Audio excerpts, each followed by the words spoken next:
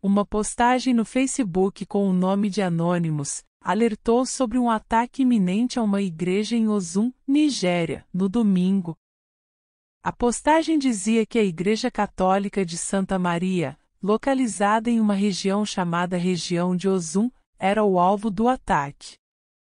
A mensagem também dizia que as pessoas próximas à igreja deveriam estar cientes da situação e que o ataque estava marcado para 23 de julho. O presidente da Associação Cristã da Nigéria, John Adeleke, disse que a organização estava ciente da situação e que as igrejas em todo o estado deveriam observar as medidas de segurança e relatar qualquer atividade suspeita às autoridades.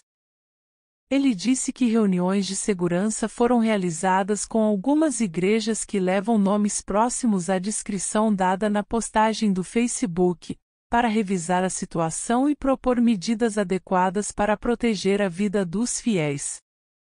O comissário de polícia do estado, Ken de Longe, visitou algumas igrejas em Osogibo, no sábado, e se reuniu com sua liderança sobre como aumentar a segurança.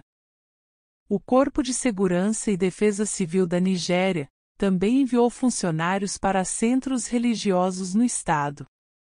As autoridades estão investigando a ameaça e estão tomando medidas para garantir a segurança das igrejas em Uzum. De acordo com a organização Portas Abertas, a Nigéria está em sétimo lugar no ranking de perseguição aos cristãos. Oremos pela Igreja que sofre em todo o mundo. Ó Jesus, atendei às nossas súplicas, em virtude das lágrimas de sangue de vossa Mãe Santíssima. E socorrei a vossa Igreja que sofre no mundo inteiro.